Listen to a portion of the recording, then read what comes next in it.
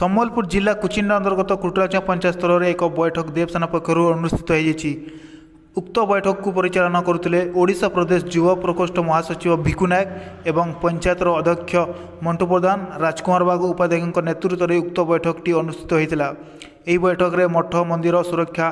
কিভাবে ভাবে করা এবং ধর্মান্তিকরণ কিপরি রোকা যাইপার সংগঠনকে কিপর বিস্তার করা তা বিষয় নিয়ে আলোচনা করা যাই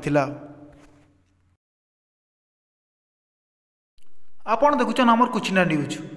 যদি ফেসবুকে দেখুছেন আমার পেজকে ফলো করুন যদি আপনার মানে ইউট্যুবে দেখুছেন আমার কুচিনা নিউজকে সবসক্রাইব করুন